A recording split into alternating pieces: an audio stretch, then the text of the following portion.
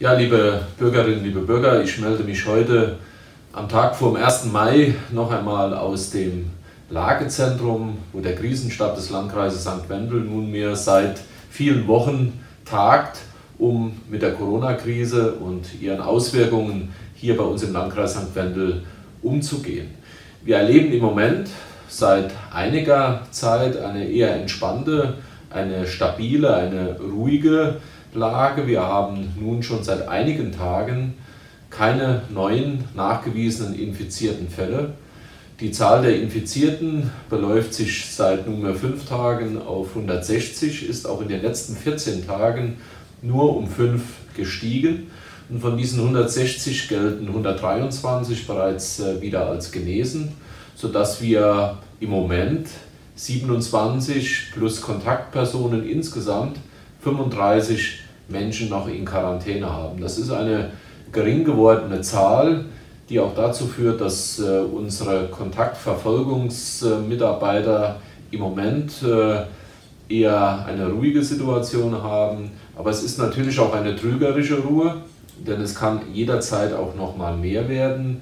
Und deswegen fahren wir ein Stück weit hier am Lagezentrum auf Standby und sind jederzeit in der Lage, auch die Kapazitäten noch einmal hochzufahren. Das gilt auch für unser Abstrichteam, äh, bei dem wir in der nächsten Woche im Übrigen durch die Bundeswehr unterstützt werden. Es werden sieben Soldaten der Bundeswehr äh, zu uns stoßen, die dann die Ehrenamtlichen, die in den ganzen Wochen tätig waren, um Abstriche auch für das Gesundheitsamt zu leisten, dann auch abzulösen. Dafür ein herzliches Dankeschön an die Bundeswehr, mit der wir hier auch im Stab sehr gut und sehr intensiv zusammenarbeiten. Und der Stab ist wirklich ein Team geworden, das sehr effektiv vernetzt zusammenarbeitet. Ich denke, das ist genauso vorbildlich wie die Arbeit, die unser Gesundheitsamt leistet, die das Gesundheitsamt verstärkt auch durch Mitarbeiter der Verwaltung leistet, in der Kontaktverfolgung, aber auch in der medizinischen Begleitung der derzeitigen Situation.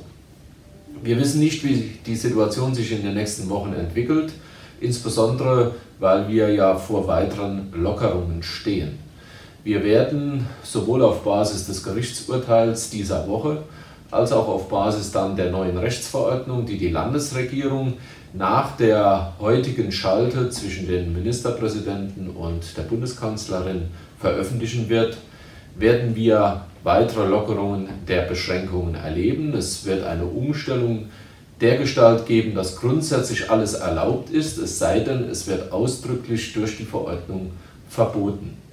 Das heißt, und das finde ich auch gut und richtig, dass sich auch Familien nochmal sehen können, dass man im begrenzten Kreis Bekannte treffen darf, dass man äh, nicht mehr einen triftigen Grund braucht, um vor die Tür zu gehen, und ich glaube, der jetzigen eher entspannten Situation ist es gut, dass man den Menschen, die sehr diszipliniert in den letzten Wochen die Beschränkungen eingehalten haben, auch nochmal mehr Freiheiten einräumt.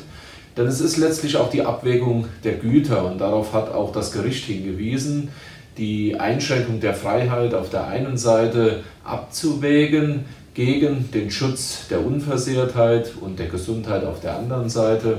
Ich glaube, dass unsere Landesregierung sehr verantwortungsvoll in den letzten Wochen agiert hat. Es ist natürlich eine schwierige Abwägung.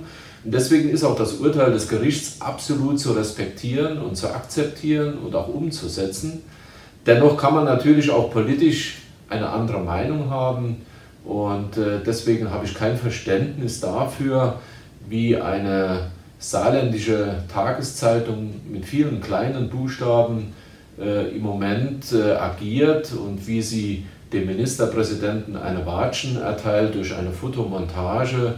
Ich denke, dass der Ministerpräsident, dass die Landesregierung insgesamt sehr verantwortungsvoll handelt, dass sie die Gesundheit der Menschen als oberstes Gebot sieht, dass sie auf Sicht fährt und sich natürlich darauf verlassen muss, was Mediziner sagen, was Wissenschaftler sagen und äh, es ja keinem Spaß macht die Freiheiten der Menschen einzuschränken. Und äh, damit sollte man keine Montage betreiben und damit sollte man auch keinen auf diesem Niveau betriebenen Journalismus äh, betreiben. Ich denke, das ist dieser Zeitung nicht würdig und äh, sollte deswegen auch äh, nicht zur Regel werden. Ich glaube, dass äh, die Verordnung, die jetzt auf uns zukommt, dazu führt, dass wir natürlich weitere äh, Lockerungen auch bei uns hier bekommen. Zum einen werden wir natürlich ab 4. Mai auch die Zufahrt und die Parkplätze am Bustersee nochmal öffnen. Ich hoffe auch, dass die Verordnung uns erlaubt, äh, Freizeitaktivitäten am See nochmal zu ermöglichen. Ob das äh, die Segler betrifft, die Angler, die Surfer oder auch die Tretbootfahrer. Natürlich alles unter Wahrung der bestehenden Einschränkungen, unter der bestehenden Vorschriften, Abstand zu halten, äh, in der Begegnung mit anderen auch äh, Masken zu tragen, die Hygiene zu beachten. Und unter diesen Voraussetzungen wollen wir auch schrittweise unsere Touristinfo im Laufe der nächsten Woche auch nochmal öffnen. Ich hoffe, dass die Verordnung uns diese Möglichkeiten gibt und dass die Verordnung natürlich auch in anderen Bereichen der Freizeit und des Zusammenlebens weitere Lockerungen mit sich bringt. Welche Auswirkungen das auf das Infektionsgeschehen hat, das wird man dann beobachten müssen. Ich denke, wir können jetzt nicht die Leute weiter einsperren, äh, damit ja kein neuer Fall äh, entsteht, sondern wir müssen unter diesen Lockerungen die Entwicklung beobachten und wenn die Entwicklung der Infektion nochmal stärker zunimmt, auch nochmal reagieren. Aber jetzt, glaube ich, kann man schon verantworten, dass man den Menschen auch wieder mehr Freiheiten gibt. Das hat natürlich auch Auswirkungen auf unsere Verwaltung, wo wir beispielsweise die Zulassungsstelle auch nochmal erweitern, mehr Schalter öffnen nach telefonischer Anmeldung, nach Terminvergabe, damit auch hier die Wartezeiten äh, enorm reduzieren im Interesse äh, der Bürgerinnen und Bürger. Ja, wir wollen natürlich auch, und äh, deswegen habe ich dieses Blatt in der Hand, das ich Ihnen zeigen will, für unsere Mitarbeiterinnen und Mitarbeiter auch selbst nähen. Von Mitarbeitern für Mitarbeiter. Ich bin sehr froh und stolz, dass sich 17 Beschäftigte des Landkreises bereit erklärt haben, ab nächster Woche für uns selbst Masken zu nähen, denn diese Masken, die Stoffmasken, aber auch die Einwegmasken werden uns länger begleiten. Und je mehr Lockerungen es gibt, desto notwendiger wird natürlich auch das Tragen dieser Masken im öffentlichen Bereich. Und äh, wir werden für unsere eigenen Mitarbeiter und zum Schutz der eigenen Mitarbeiter diese Stoffmaske nähen, äh, mit Aufdruck, aber auch ohne äh, entsprechendes Logo. Und ich denke, das ist eine großartige Aktion, die unter Leitung von Ursula Weiland steht. Und ich danke jetzt schon allen Mitarbeitern, die sich bereit erklärt haben, hier mitzuwirken und hier mitzumachen. Ja, wir werden auch ab 4. Mai die Teilöffnung der Schulen noch einmal haben. Die Abschlussklassen werden in die Schulen gehen. Das heißt, wir haben auch die Voraussetzungen dafür geschaffen als Schulträger, dass das möglich wird. Wir haben den Hygieneplan des Landes umgesetzt. Unser Schulverwaltungsamt, unser Gebäudemanagement haben mit allen Schulen detailliert besprochen, was umzusetzen ist von der Wegeführung bis äh, zu den Möglichkeiten der Desinfektion und der Hygiene äh, bis hin zu der Pflicht, Masken zu tragen in den Pausen oder auch im ÖPNV. In den Bussen gilt auch wieder der Regelfahrplan, nicht mehr der Ferienfahrplan. Das heißt, auch dort wird es möglich sein, da alle Busse fahren, auch die Abstände einzuhalten, sodass ich davon ausgehe, äh, dass die Schule auch ab Montag wieder ordnungsgemäß für die Abschlussklassen anlaufen kann. Und ich bitte auch jeden dafür zu sorgen und seinen Beitrag dazu zu leisten, dass die Schülerinnen und Schüler sich an die Vorgaben halten, denn nur dann wird es auch möglich sein, äh, die Schulen offen zu halten. Und das gilt letztlich auch für die Betreuung, die wir in unseren Kindertagesstätten haben. Auch die wird ausgeweitet, die Notbetreuung wird ausgeweitet, weitere Gruppen kommen hinzu, deren Kinder betreut werden können. Und ich glaube, so gelingt es uns und so hoffe ich es in den nächsten Tagen und in der nächsten Woche in ein Stück Normalität zurückkehren zu können. Immer unter Beachtung äh, der Vorschriften, der Abstandsregel, der Hygiene, der Maske.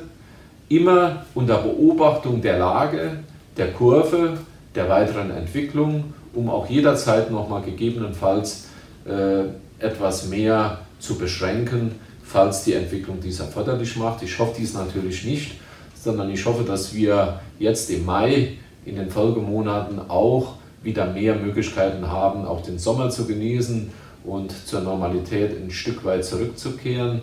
Der 1. Mai morgen wird kein 1. Mai noch sein, wie wir ihn kennen. Die Maitouren werden anders ausfallen aufgrund dieser Abstandsregeln. Großveranstaltungen wird es aufgrund dieser Regeln auch so schnell nicht geben können. Und ich darf auch herzlich appellieren, die Maitour morgen anders zu gestalten. Auch bitte nicht den Bostalsee anzulaufen, denn Massenveranstaltungen und größere Gruppen sind nicht erlaubt und die Polizei wird auch entsprechend kontrollieren. In diesem Sinne hoffe ich, dass wir gut in den Mai kommen und so wie der Regen, der jetzt im Moment äh, über unser Land geht, wichtig ist, notwendig ist nach Wochen der Trockenheit, so hoffe ich auch, dass die Lockerungen dazu führen, dass wir insgesamt auch nochmal ein Stück weit Normalität erleben. Und wenn wir uns alle an die Vorschriften halten, wenn wir alle diszipliniert bleiben, dann wird das auch weiter möglich sein und dann wird es weitere Öffnungen geben, die ich mir natürlich insbesondere auch für gastronomische und touristische Einrichtungen, für weitere Betriebszweige wünsche. Und in diesem Sinne sage ich auch heute zu Ihnen, kommen Sie gut in den 1. Mai und bleiben Sie gesund.